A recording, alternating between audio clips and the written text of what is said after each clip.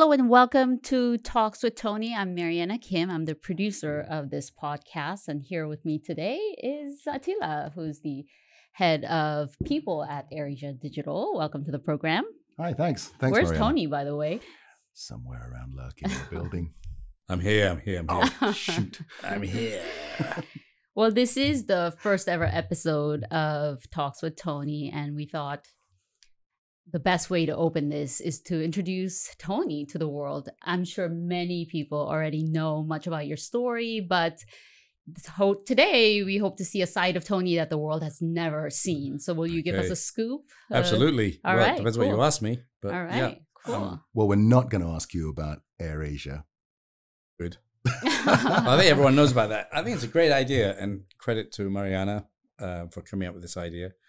We thought being different from other podcasts that before we interview other people, uh, the the guy running the show should be interviewed, and you should get to know him and his values and what he thinks, etc. So, uh, great idea, Mariana.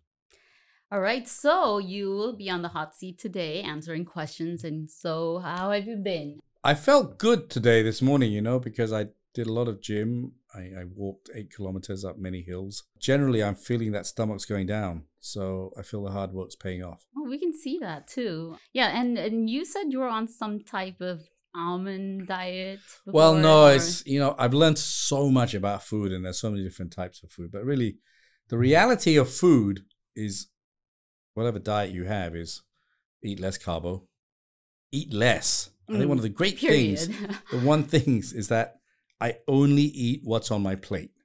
And so Mm. you put a little bit of, you know, your rice substitute, a little bit of vegetable, a little bit of meat, and you put your dessert all on the same plate. And that's it.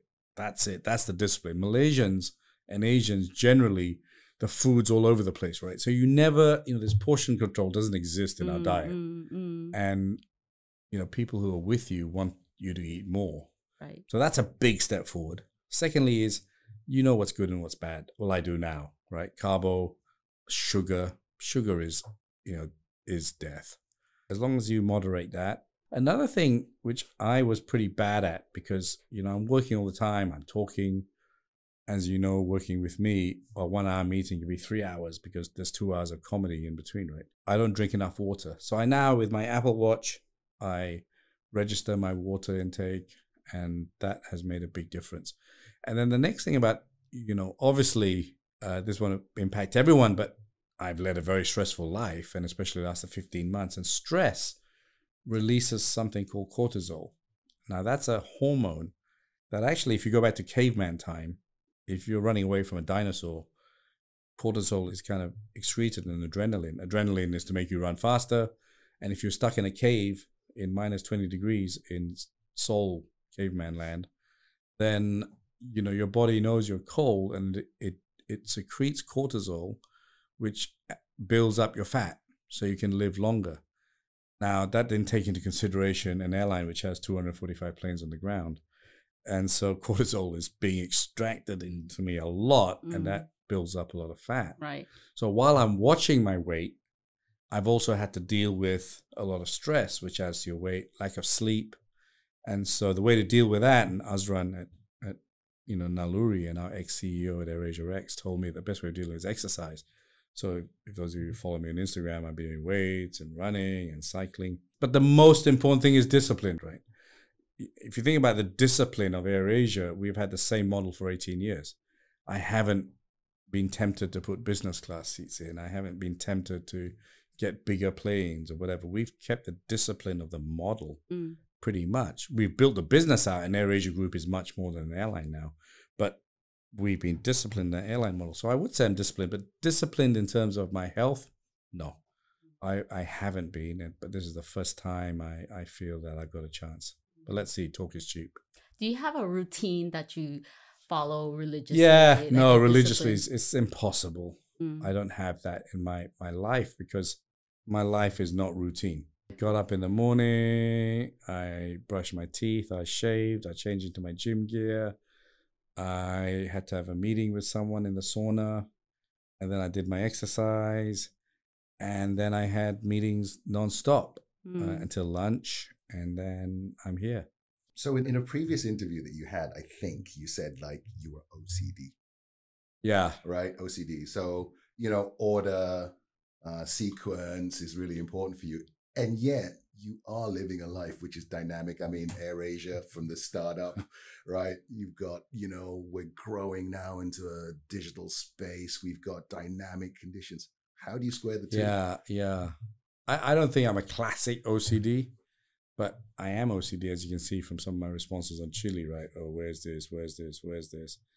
And then I'm OCD when I hate mess Mm. on the desk, right? If you go to my office, there's very little paper on my desk, right? I don't have that. And I'm Yeah. OCD in terms of organizing my CDs by by genre, right? It's if it's not R and B, then it isn't in the R and B section, right? Wow. What about your clothes? Uh, do you do it by color? No, I, Okay, you know, not that bad. there was this wonderful movie with Richard Gere called American Gigolo, and you know when he opens his wardrobe, Mariana wouldn't know, but you would because you're my age. When he opens his wardrobe, and Attila kind of borderline is metrosexual. Um, there's only one person I've seen with a, with a Richard Gere wardrobe, and that's Nazir Razak. You know, it's like wow, that was always my dream, right? The suits are all in the right color. The you know, Jay has his glove, his golf clubs all by color coordinated. Um, no, I'm not that way. I'd like to. I haven't I I reached remember Nazir Razak um, said you have a mild form of ADHD, which is like another um, yeah Yeah. disorder. uh, that. Yeah, everyone. My my, my ex-wife right? said that. A lot of people have said that. Um, I don't.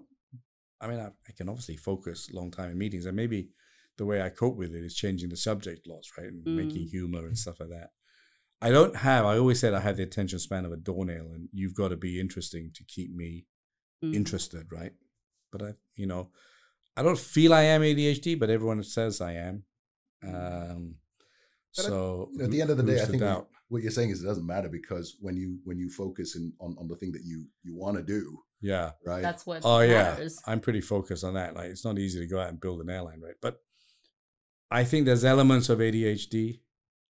I think I have a low attention span if I'm not interested, Sure. and then I have elements of, was it OC? OCD. OCD. OCD, definitely.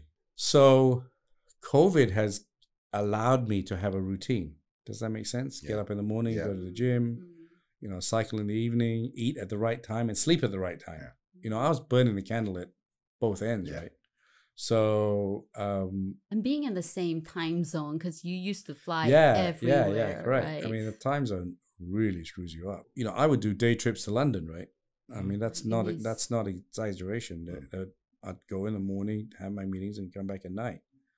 I would go and see my daughter because I missed her so much when she went to boarding school. I would leave the office on Friday night, arrive in London on Saturday, drive to her school and pick her up, and then fly back on Sunday. Business goals also in a strange way.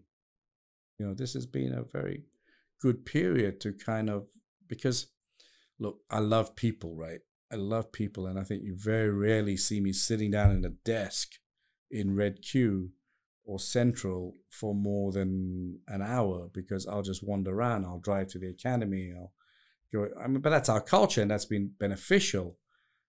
But I'm hell of a lot more productive during COVID. The truth be known, that that has taken an you know obviously that is not good for the culture of the airline, but we couldn't do much anyway because we're all at home. So it'll be interesting when we get back to normal life how I balance that because I'm definitely more productive at home. So if you're more productive at home, and I mean, look, the business aside, because everyone's business has been challenged, right? What's the biggest challenge that you found personally during COVID? Because you've got more discipline in a sense, you're more productive. Is it family? Is it keeping in people, touch? right? Yeah. people. I mean, I'm a, I'm a touchy feely. I like being with people. I I like to interact. I like to walk to the airport. I like to go to the roof at AirAsia Red Q and see the planes taking off. I was a plane spotter. You still like doing that?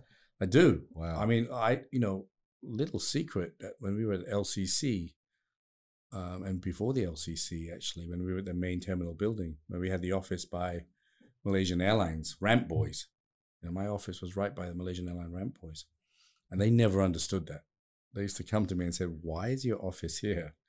I said, "Because I want to be close to the planes." And they said, "You know, it's so cool because we've never, we don't even know our boss." As opposed to Central KL. Yeah. Yeah, well, yeah, it was Central KL. It M- was, MAS was Yeah. next to the Equatorial. Yeah. opposite the Equatorial. Yeah, I think it's so important to be. You've got to be in the place where your business is, right? Mm. But I used to during times of stress, I just take my little Ford Transit and drive to where our hangar is, which wasn't a hangar then, and just watch our planes take off and land. So now that we've transited, I mean, transitioning to a digital business where you know touch points. You know, we all talk about Facebook, right? Mm. And and um, and how you know they may cover thousands of people, but they've never met any one of them, right? Mm. Whereas AirAsia staff, AirAsia All Stars, almost get to meet every single one of them, right? Mm.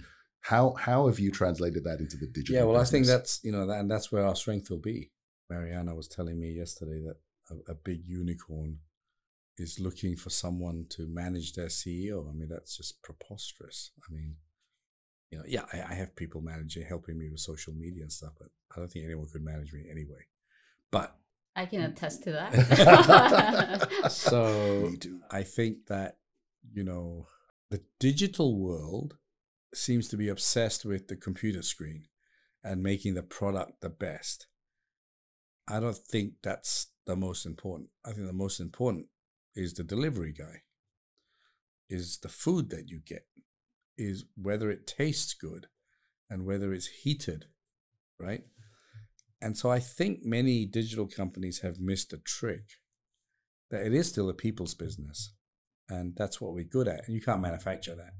We have come from 19 years of dealing with people, whether they're happy or unhappy. We're the most transparent company. You look at our Facebook and everyone's whacking us for, for not having refunds. We're not trying to run away from that. We're not trying to hide from that. I do think it's a people's business, and I think that's our strength. We may not be the fastest super tech in the galaxy, but I think we'll replace it with soul. Well, speaking of social media, you're very active on Instagram. You have about 350,000 followers. What kind of content do you like to? What do you find interesting? Do you watch like food porn? Oh, me following on Instagram. Yeah. It's funny you said that because I've been on a diet. Um, I've been following a lot of food sites because Mm. I fantasize, right? My dream in life is to be able to donate fat to thin people, right? Can you imagine if Mariana could just That's stick the a new tab health in app. here and it goes into whatever part of her body she needs a bit of fat in? Uh, that would be the ultimate invention. Low cost fat transfer.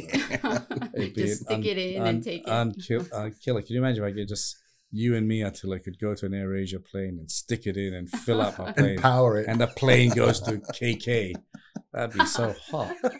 Um, yeah, so I think don't irritate us, Mariana, by talking about food porn. But yeah, I mean, I, it's my new thing. I read it in a book. that If you feel hungry, drink water and think about food. Mentally think about it. So I use Instagram for that. I follow a lot of football, Mm. and invariably my Instagram is full of cabin crew. Um, so you invariably see a lot of that. But I, I wouldn't say I'm a big follower of Instagram.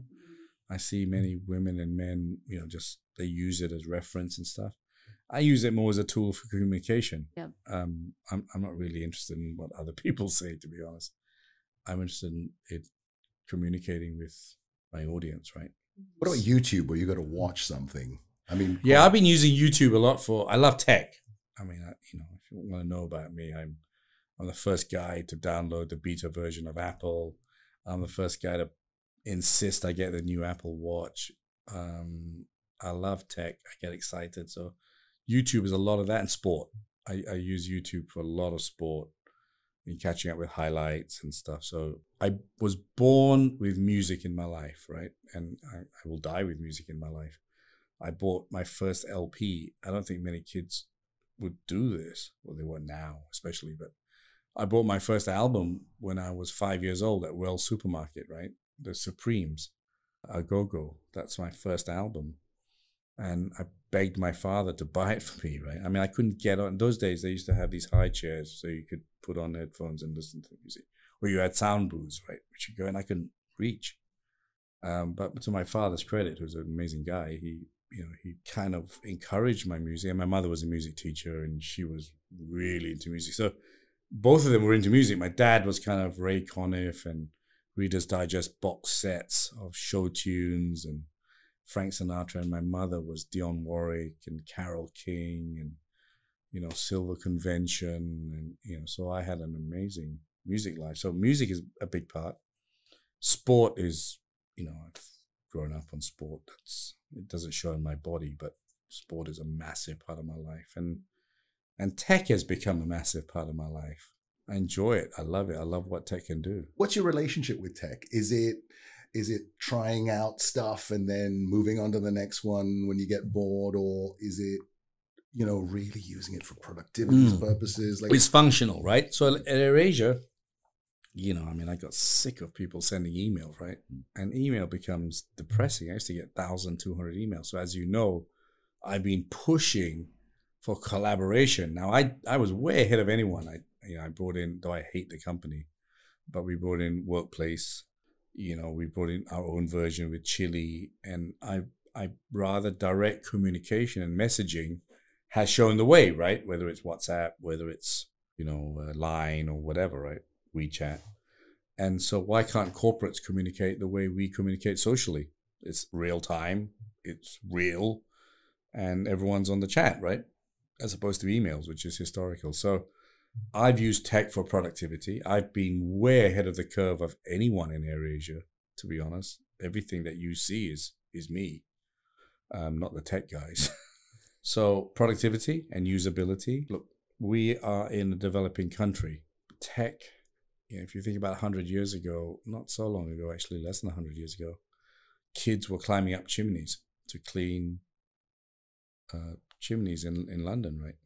Each industrial revolution has caused jobs to be lost, but the quality of life has improved dramatically. And tech, why I like it is that it will improve life. Now, there's some drawbacks. Social media, I have very strong views on fake news.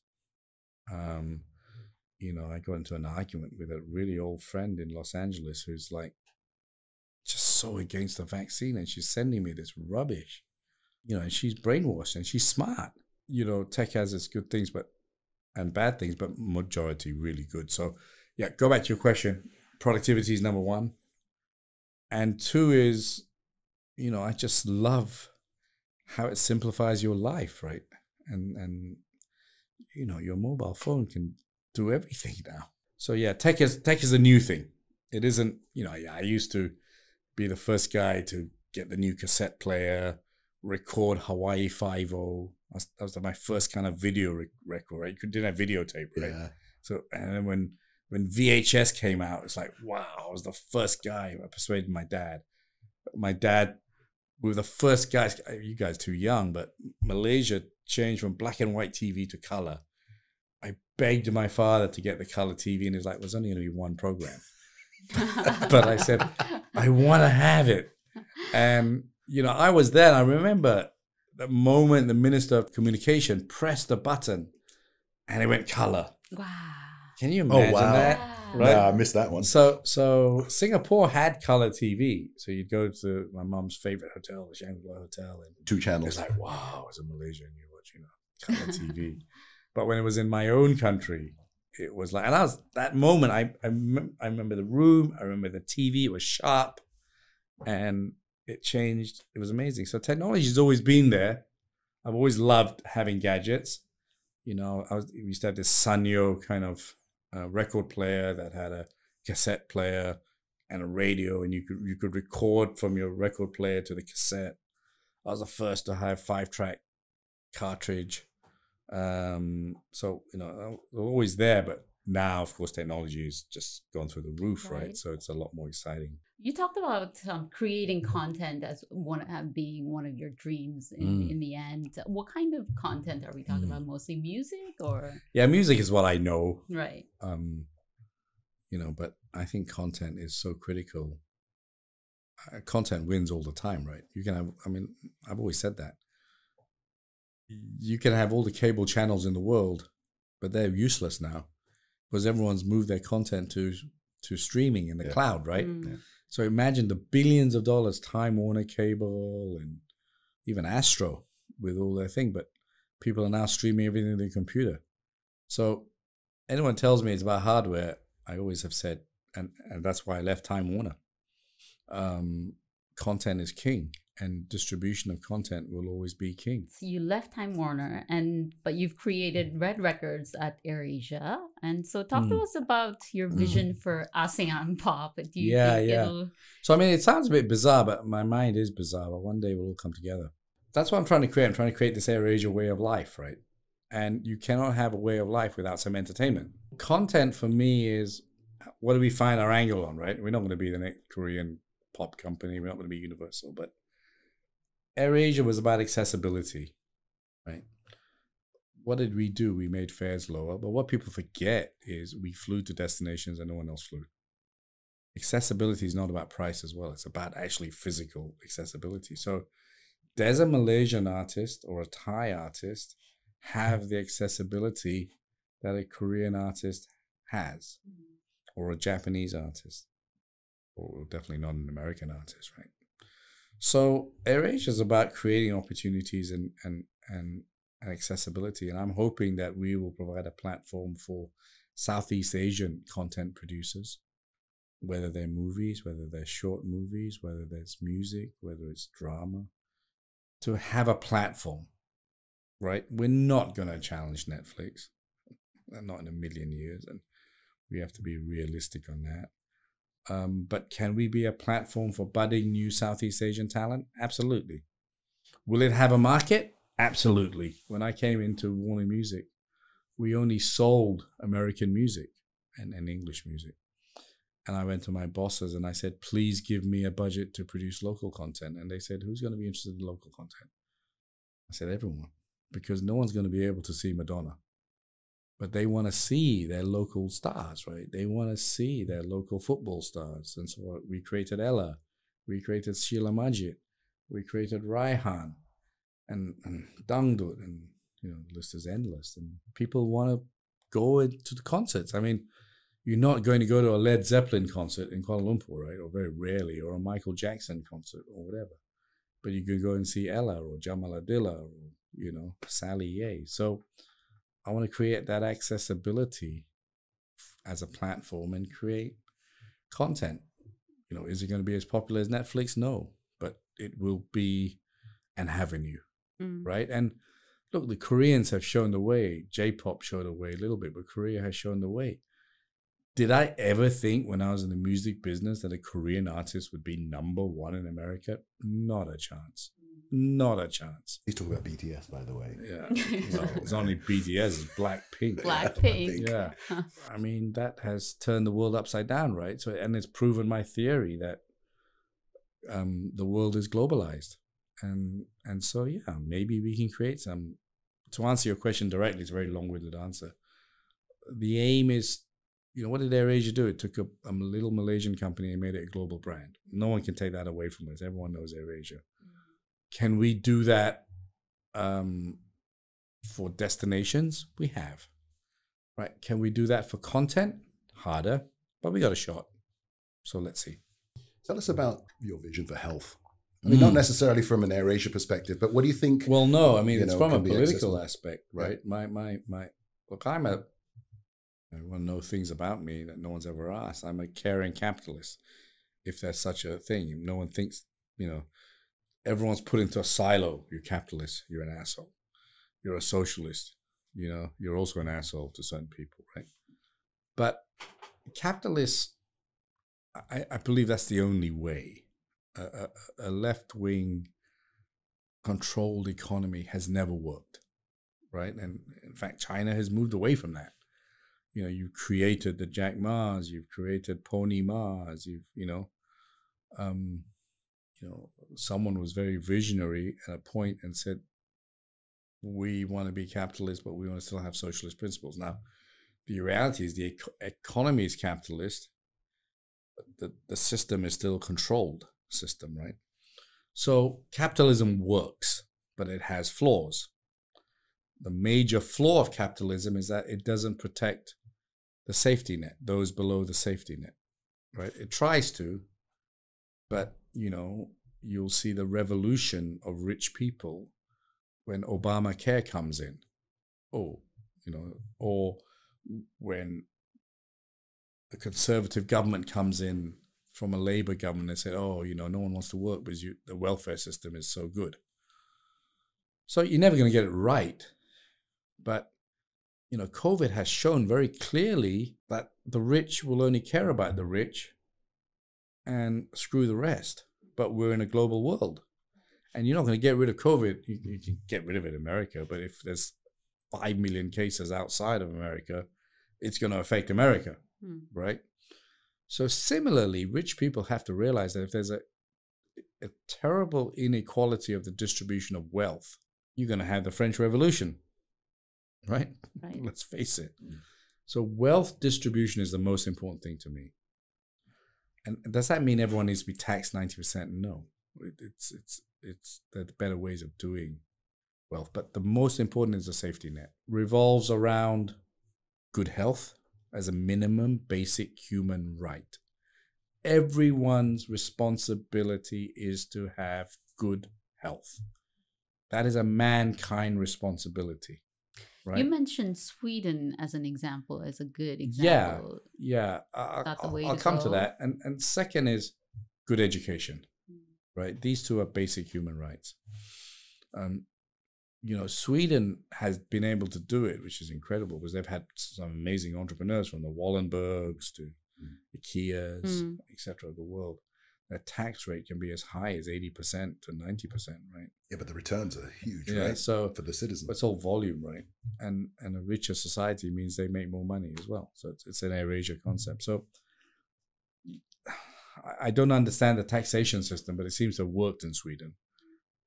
Do I do I think people should be taxed ninety percent? No. You know, should there be a, a an inheritance tax? Absolutely. Should there be a wealth tax? Absolutely. How you use that money is very important. So if I'm going to lose half my wealth through a wealth tax, I'm fine provided I know it's going to help the common man, as opposed to build a highway somewhere, which means nothing, right? So yeah, going back to the education thing Health as well. and and health, because they're both the same. Really, my dream was to build this low cost hospital, right? Um, I remember. and and I'm not sure where I'm going to get to it because COVID has turned my life upside down. You know, because I had this vision of stepping down from AirAsia and doing some other things, right? Philanthropic things, but not philanthropic with just writing a check and feeling good about it, but philanthropic to really change. You know, yeah, it won't be as good, but hey, won't be won't be far off. Mm. And I've been watching the Khan Academy, and I've been watching, and we all do it, right? We all learn from YouTube and stuff, right? We all learn. You know, I, I you know, digital currencies and and I was watching a fantastic program on meat, you know, and and how meat is is destroying the world, right? From the land and the water usage, etc. And so I could learn a, a subject on online and and with the interactivity and chat and stuff, it's almost like being in a classroom, right? Mm. So online has given me the ability to maybe meet those ambitions of low cost health and and low cost education online. So let's see. You know, I'm always skeptical of saying too much because talk is cheap, right? Go, out and do it first. Let's talk about branding. So that's something that's dear to your heart, and you're so good at it. Someone on the internet called you the god of branding, and so and you have a huge personal brand online and offline as well. Um, what what's your secret? Well, for myself, it, it- it still amazes me. You know, walk into Tune Building and everyone wants to take a photograph, right? Mm. And I look like the way I look right now. She must have been 60 plus and she's just like so excited to see me, right? So I still think, because I'm still the same Tony Fernandes in the last 30 years, right? Why is that? And I suppose number one is humility. I mean, I am just the same person, right? And humility comes from communication. The riders who I've met over the last few days have said, Wow, you're so humble. And I'm just myself. But I suppose I don't have 17 bodyguards around me or 10 PAs following me around, right? And so I suppose my brand is built on the fact that I have been who I am and I've communicated well. Even though I don't speak Malay or Bahasa Indonesian or Thai, right? People see me for what I am. I'm, you know, I'm popular in Thailand for the way we've handled some of the crisis in Thailand, whether it's the bowing and some of the other issues, right? In Indonesia, I'm a the way we handled, you know, QZ 8701, 8501. And so I suppose it's just sincerity and transparency and honesty, which seems like common sense, I suppose. And then accessibility, right? It's tiring doing hundreds of interviews. It's tiring to sit there and take 250 photographs, right? But it means a lot to people, so you do it, and that makes a big difference, right? Mm. So I suppose that is it. And then from a branding aspect, on AirAsia, it's I've always believed in simplicity, commonality of message. I mean, if you think about it, Attila, you were involved in this. Everyone refers to AirAsia as All Stars. Everyone, right? Worldwide. And that was a brand Attila and me created, right? We called it All Stars, and it uh, hit me today that everyone is referring to All Stars. The Minister of Science and Technology said, I think soon we can give All Stars the vaccine. And it, it, it really, it hit me, right? That, wow, we've Yeah. created a sub brand, right? That Mm. no company has a brand for their employees, right? And so we're, the commonality, the simplicity of the message, and the consistency of the message, right? It's always been all star, all star, all star, all star, right? And party, welcome all stars. Email, hi all stars, right? It's it's the, the Attila and team have been very consistent. I've been very good at saying, I want to name the staff because why did I come up with all stars? Because we had Korean all stars, we had well Korean AirAsia staff, Thai AirAsia staff, and I said, I don't care where you come from, and you know my my strong beliefs on diversity. Number one, you're an all star. Number two, you're Thai or Korean or Malaysian or whatever, right? And so I said, you join our family, you're an all star. So, you know, you're a Kim or I don't even know your surname, Eman. Um, I just know you as Attila. So you're Fernandes, right? So you're in this family. You need to have a name for the family. Mm. Right? Like So a last name. yeah, so Mm. branding is people didn't realize that when I said All Star, I was referring to the surname, right? Yeah. No one got it until later, right? So when I said I wanted to create a brand, because if I said I want to create a surname, no one will understand it. But I actually want to create a surname. When you're in a family, you're in a surname, right? And so branding is, you know, people see branding as advertising. It's not. Branding is a hell of a lot more than that. Mm. Branding starts at home first, right? If your own staff don't understand the brand, then forget it. So, what is the religion in AirAsia? Low cost. Mm. What is the brand in AirAsia? We got to do it at home first. You got to understand your brand. We're red. We're low cost. We're energetic. We're innovative. We're all that. Then the rest becomes easy, right? Because if your brand is there, then people automatically. So you see it, everyone all star, and they have a vision of an all star, right? This is what an all star is. He's adventurous. He's innovative. He's different, right? And you know, people hire all stars based on the fact that they're an all star. Hmm. I'm hundred percent sure about it. And they refer to the fact that when I was an all star, you Yeah. know, there's always that reference, right? Well, I did an interview with a Filipino, and he just kept saying when he was an all star, when I'm an all star, you know, this is what we did as an all star. Yeah. And over the last month or so, I'm like, wow, we're pretty cool at branding Mm. because I don't think you call them a Samsungite, All right? Did Or- you just come up with that? or, uh, I think he did. you know, or uh, I'm a Netflixer. Uh, you may say I'm an Amazonian, maybe. I think they said Because- Googler, but yeah, Google's probably one of the other companies that may be having that, that Yeah. kind of culture. But But I mean, that's forced. Then I don't. I don't hear anyone saying I'm a Googler, no. right? Yeah. But I hear a lot of people saying I'm an all star. Yeah. Mm. So you think of the biggest brands in the world, and you've just mentioned some of them, right? You don't say I'm a Microsofter, right? Maybe you're an Amazonian, but I haven't heard that and, um, either. But we're pretty unique. Yeah. And so yeah, I, yeah, we're good at branding. So I didn't really answer your question, but branding is so important, and people don't put enough value. As you as you know, I drive you guys nuts on the communication releases. That ten different ways of doing it, and Mm. you know, it's so important to get that message across. So to, to go back to your very first question, branding is about communication. If you communicate your brand right, the rest is easy.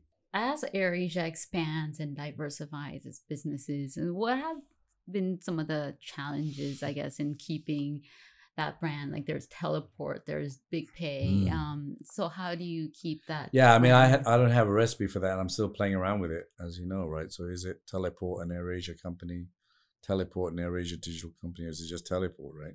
Does it need to be associated with AirAsia? It does.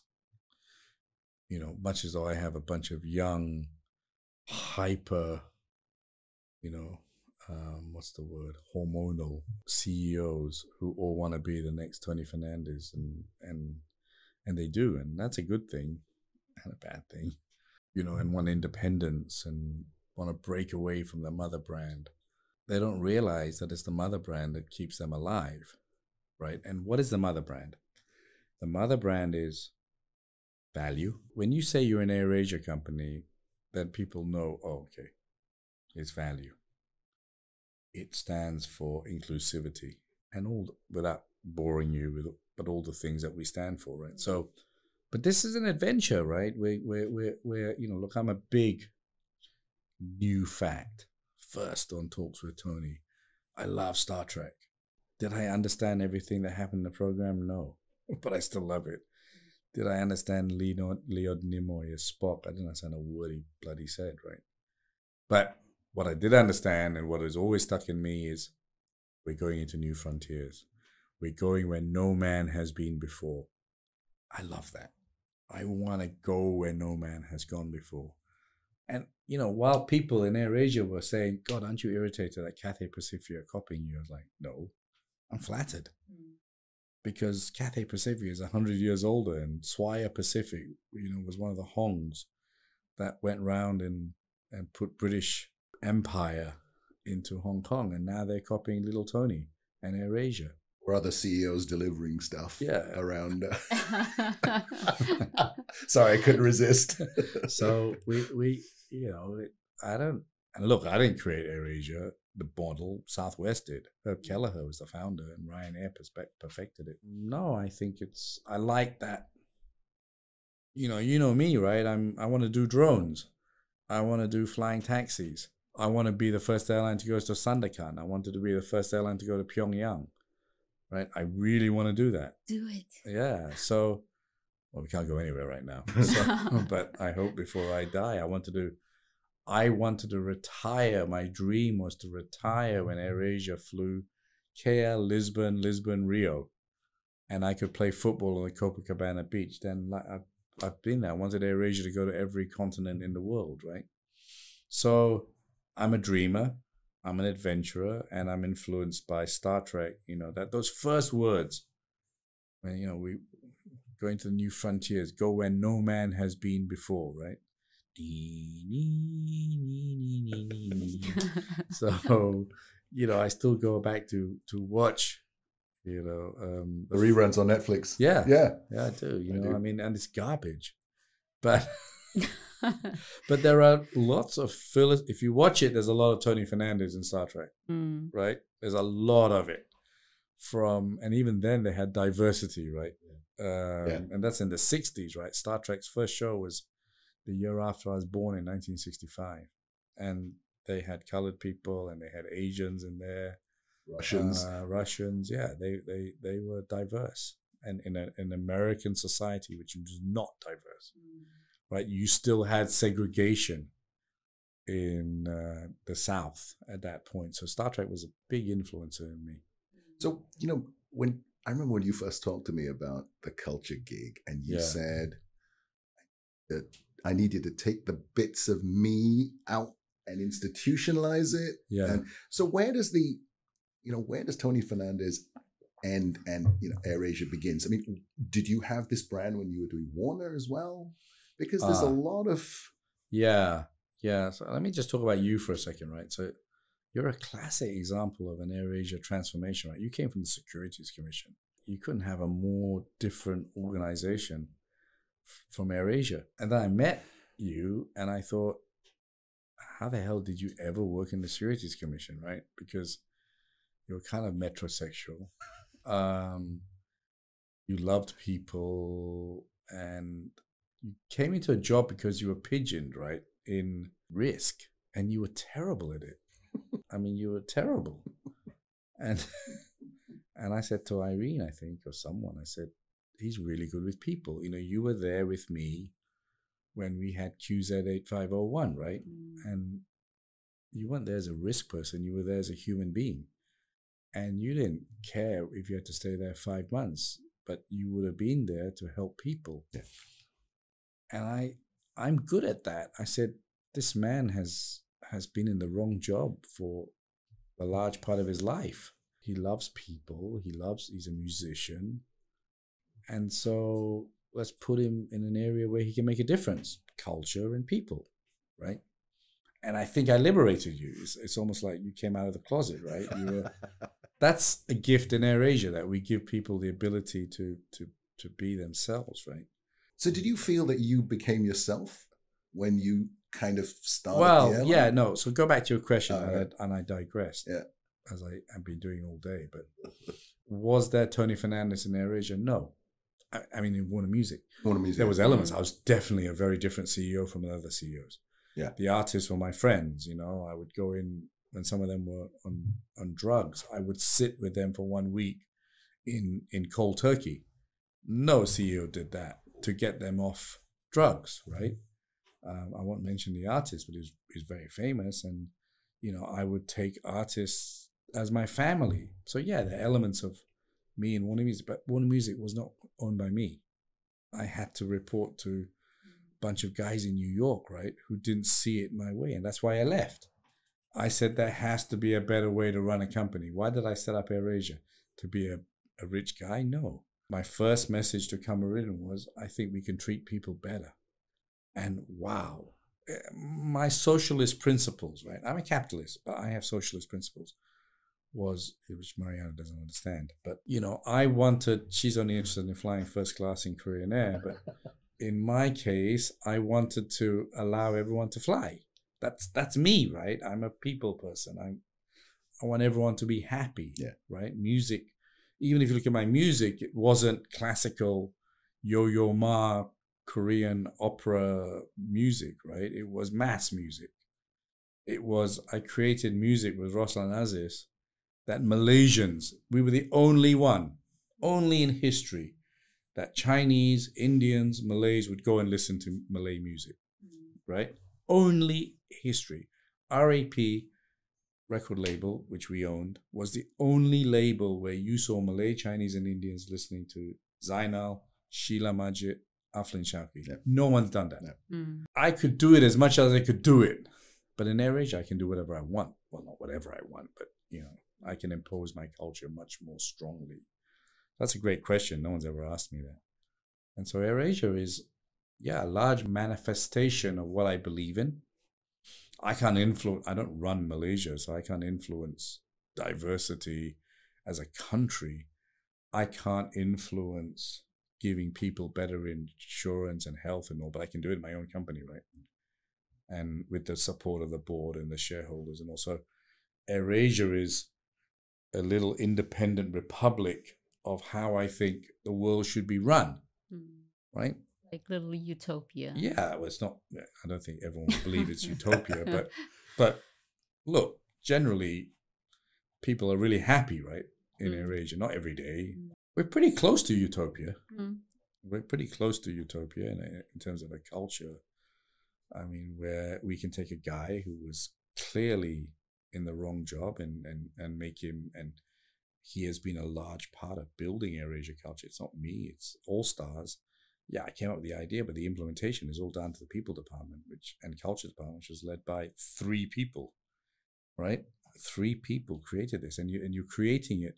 It's not just in Malaysia, right? Filipinos call themselves All Stars. Indians call themselves All Stars, right? They're proud to be All Stars.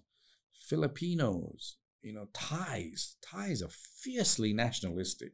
They're the first to call themselves All Stars, right? It's interesting when you see people going to get vaccines. You don't see them wearing their company outfits, but you see AirAsia all wearing their company outfits, Right. right? Yeah. Right. That wasn't a mandate from us. to go wear your outfits. They're all wearing it, whether you're Thai, whether you're Indonesian, whether you're Indian. Dude. It's very apparent in workplace, right? So branding, you know, I mean, I'm going back and forth from your questions, but branding is, is so critical. And going back to to, I couldn't do in Warner Music what I can do in AirAsia. You're known to give opportunities. I'm sure so many people approach you. So many people want that opportunity. How do you spot talent? when- when Fifty you percent is see it? people approaching you. Mm. That in itself is, well, he's got balls or Mm. she's got balls. So that in itself already triggers me like, well, they've got something that someone else doesn't. They want something. You've got to want something. If you want something, you've got to go out there and want it, right? Life is not easy.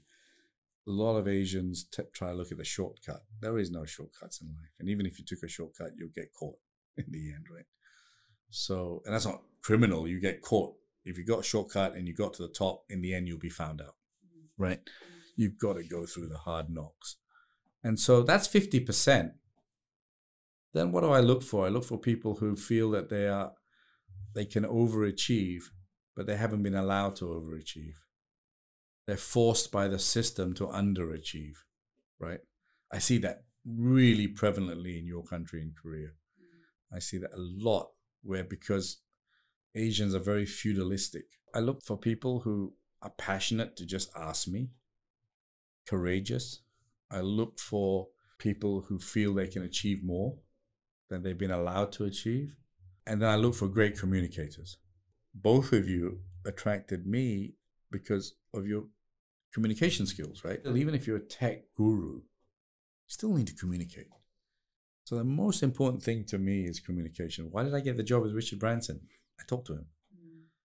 You know, if I wrote in and wrote CV and sent video resume, but I talked to him. I was going to say because you actually made the effort to get into the into the lift, Yeah, right? yeah. Well, it wasn't a lift to be fair; it was just a door. Then- oh, all right. But still, but still, you But- just just kind of. But he just- opened the door, and I thought, "Oh my Yeah. god, he's in front of me!" Right? What I always say to people is, "What's the downside?" He could he could always just say, "Well, bugger off," or and I wouldn't have lost anything anyway, because he'd never see me again anyway, right?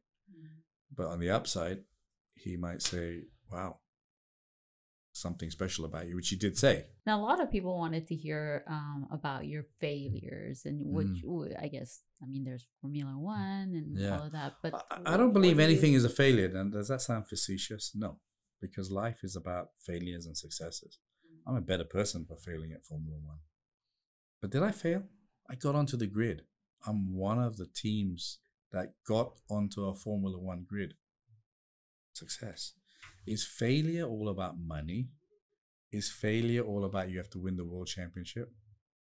No, as a little Malaysian, me, Kamarudin, and Naza got a Formula One car onto the grid in F1. That's a success. Right? Did I lose lots of money? Yes. But is life measured by your wealth? That is an Asian aspiration. There are many trillionaires out there. And I think, what a boring life.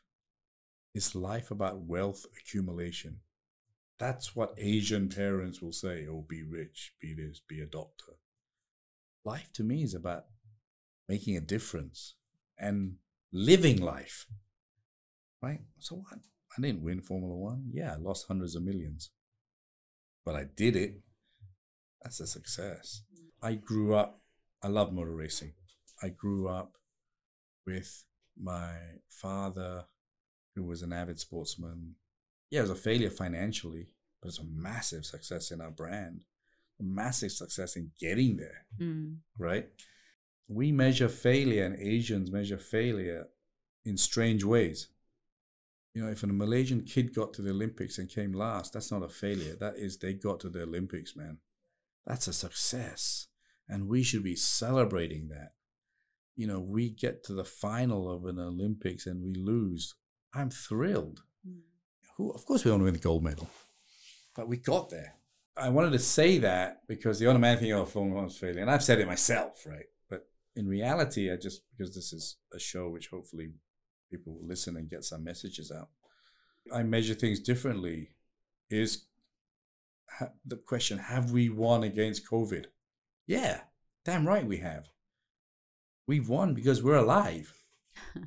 right? That's a success. We've won because AirAsia's still alive. You learn humility for a start, that you don't know everything. And but I've never felt that, but you still learn. And I, I dare say you learn more from your failures than successes, and that builds you up to be able to stop the failures. Now you can have a mini failure that prepares you so you don't make a major failure. right? Yeah. Now, I've had a bit of both.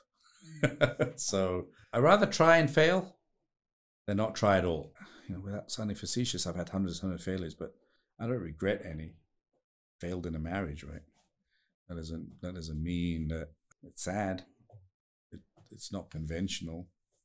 People don't want you to, but there is no such thing as prepares you for a marriage, right? There's nothing. You you don't know, right? There's no university course that can teach you for that, and you're gonna make mistakes, right? So yeah, my biggest failure is my marriage, for sure. You know that affects other people, right? Affects your kids, and that's not cool. But you know, do you carry on when you're not happy, or do you you try and make it your it's your life, right? Um, but invariably, a lot of people, which included me, is you hang in there for the kids, right, or for society or whatever. So I use that example because, you know, failure must be ended. You've got to cut it off and say you screwed up. Take the hit and move on. Right? Now it's easy to do in the corporate world right? As you've seen i, I can hmm, 360 degrees change. When i think we're going down the wrong direction i'll just i don't have any ego. Harder in personal life. Mm.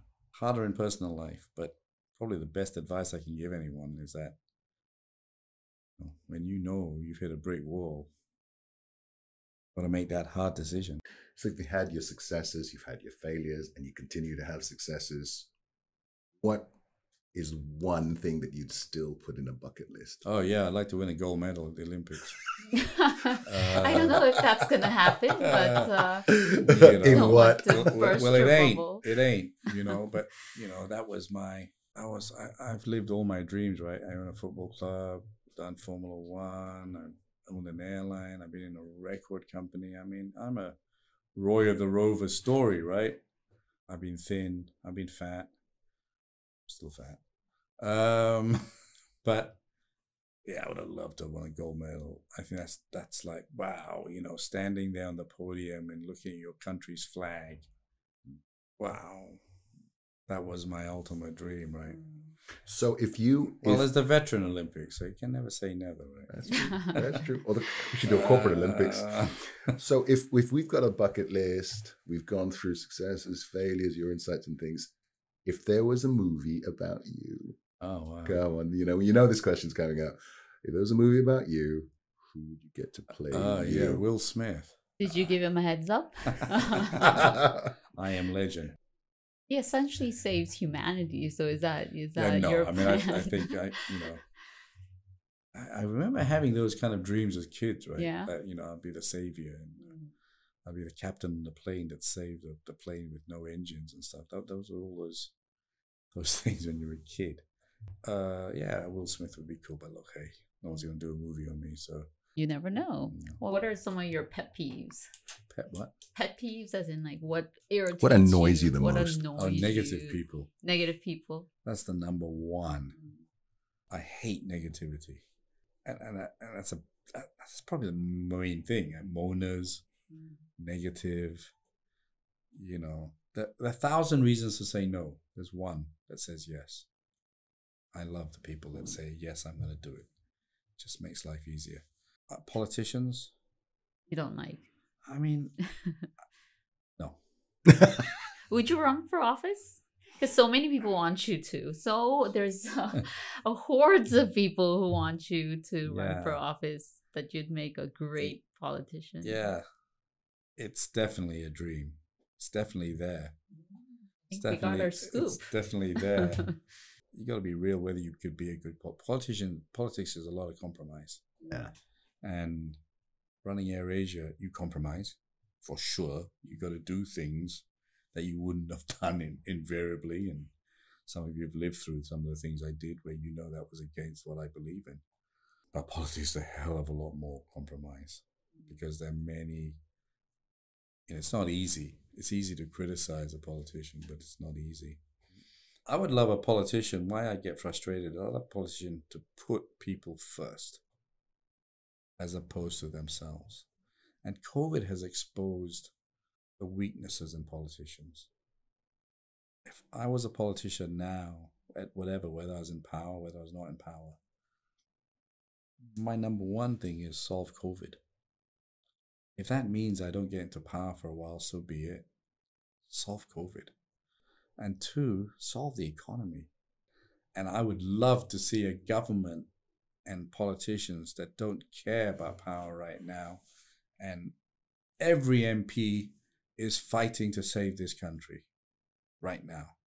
The battle will come for elections. Then go fight it out. But right now, we're wasting so much time on bitching hmm.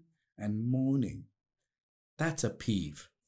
I get frustrated when I see one politician say something, and just because he said something, another guy has to say it's rubbish. Well, why don't we all help each other to make it better, right?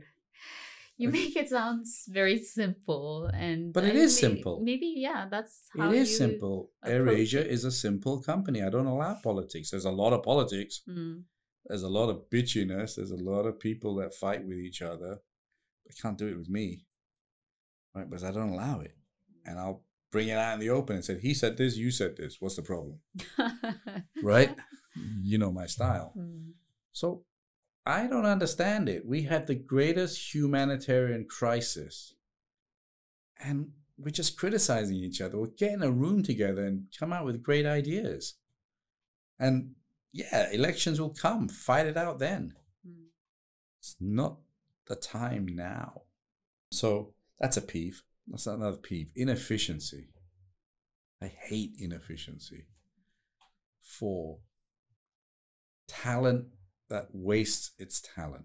Because you may have talent, God gave you talent, but it, you got to work at it still. And I hate that. I hate seeing smart people in my company who don't go out to excel. I hate it. Because you got something I don't have. I'd love to have it. Maximize it, right? So that's a that's a major P for me. And those of you who work for me know that. That I hate seeing people who have talent that underperform. Right? That that you know, because or, or have been given opportunities that blow it. That really pisses me off. okay. Mm. Don't believe your own press and think that you're something you're not. Mm. This No. is great ASMR, by the way, by Tony Fernandes. That's You- ASMR. What's that? Uh, the you know the sensory the you know people it's it's huge on YouTube when people listen to other people You chewing. see those things? They eat in front of the camera so they can hear them munching like, and then "Yeah." it's weird. I've No, learned something. I've never heard of ASMR. You're doing it now. That's what Okay. it I'm just eating. Yeah, we can hear it. It's really good. Uh, you should watch it on YouTube. It's you weird want to hear me slurp water like a Korean. no, okay, that one. We'll, we'll put a line there. But, you know, just fun questions. I thought, you know, you a morning or night person? Morning. Morning. Mm. Okay. I don't like going to bed because I love life, right? It's like Then you're a night person if you don't want to go to bed. Then you're you're I guess morning. No, but I know what you mean though, because when you wake up in the morning, it's like It's the, the whole whole day. day. the whole day, right? Jinx. So I, I like I like morning for sure. Hmm. Go on, fire one last one. Last one. One weird quirk. I like pressing noses. What? Are you Yeah. serious? That is weird. What, you mean like New Zealand Maori style. Yeah, no, physically, I like my dog's nose. I like to press your nose. I'm I'm into noses. I've I don't know why. I love noses. We got our scoop. I'm a very no, That's a scoop. You have I'm- some he- I'm headlines. a very nose expert because I'll know whether you've had a plastic surgery, you haven't. but are you Uh, tactile? Are you like PDA? Hundred percent. You know, Olivia Newton John. Let's get physical. That that's that was my theme song. Have you met her? No, let's get physical. You know, Physical. unfortunately, I remember that song. I want to get physical. That's it. All right. Well, that just about brings us to the end of the first edition of Talks with Tony. From next week, Tony will be at the helm, interviewing lots of um, interesting people from all walks of life. yeah, I mean, I think just to put everyone in perspective, uh, it's a learning experience for me. I've always been interviewed, and to be an interviewer is quite different. Hmm. right? I mean, you've done it professionally, uh, Mariana, but I feel, you know, like the next one I'm doing, I'm ready for it. But it's taken about four or five shows to really kind of kind of be on the other side. Because for 19 years I've been being interviewed, right? Mm. And it's a lot easier than than in some ways taking the secondary seat. And uh, ATMR. ATMR. no, ASMR.